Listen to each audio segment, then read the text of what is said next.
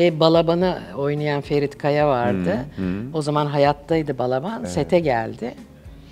E, Ferit'i gördü Balaban olarak. Aynı ben olmuşsun dedi. Artık ne kadar doğru bilmiyorum ama sonra yetkin uzaktan geliyordu. Şair baba diye koştu ona sarıldı. Ay. Ya o çok yani şimdi bile gözüm e, yaşarabilir yani o kadar duygulandım. Ama gerçekten de o, onun- Şair baba dermiş Şair çünkü baba ona. dermiş çünkü. Evet. Vay be.